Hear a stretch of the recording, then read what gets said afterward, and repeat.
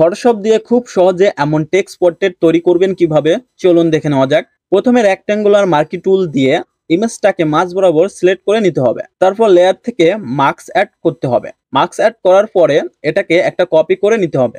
এখন মার্কসটাকে সিলেক্ট করে কন্ট্রোল আই দিয়ে ইনভার্ট করে নিতে হবে। এরপর টেক্সট টুল দিয়ে এমন টেক্সট নিতে হবে। টেক্সটটাকে ফেসের সাথে ফিক্স করে নিতে হবে।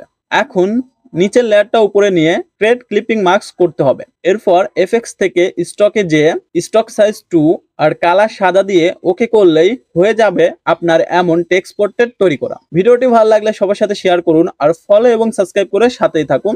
ধন্যবাদ।